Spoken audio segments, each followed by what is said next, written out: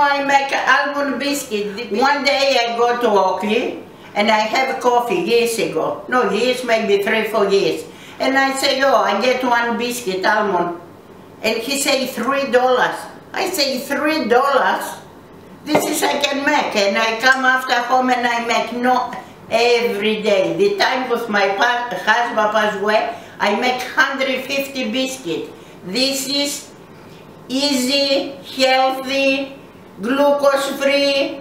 You can make all the time. One cup caster sugar. And three cups of almond meals. Almond meal? Yes. One, two, this is the three cups baking powder. Mix well.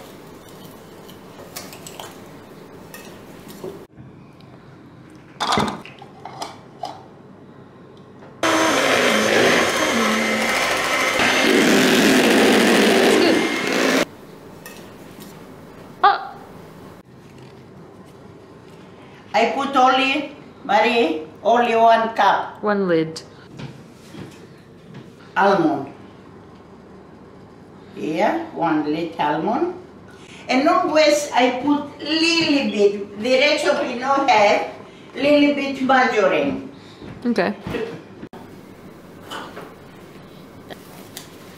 And when I put the gloves, I wash it. Now.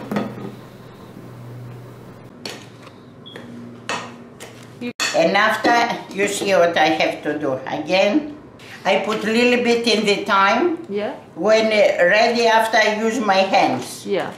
Now I watch it. Here.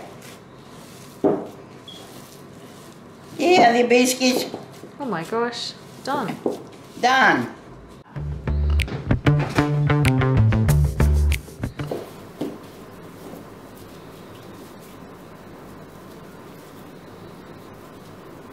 Oh, so what are you doing now?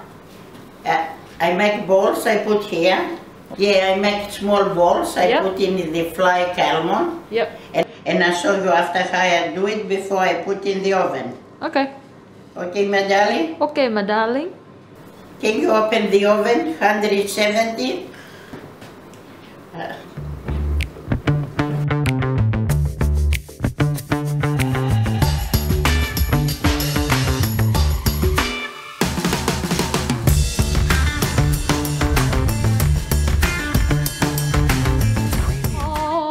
they're ready to go in the oven very soon. How long do we leave them in the oven for? 15. 15 minutes.